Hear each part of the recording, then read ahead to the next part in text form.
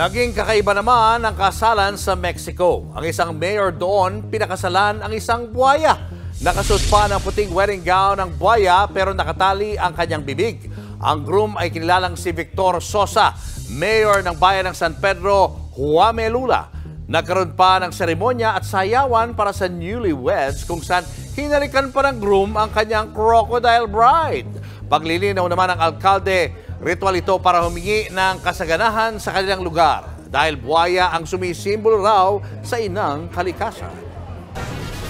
Mga kapatid, Cheryl Cosin po, huwag maging huli at maging una sa lahat para sa tuloy-tuloy na balitaan at karagdagang impormasyon sa mga napapanahong isyo ng lipunan.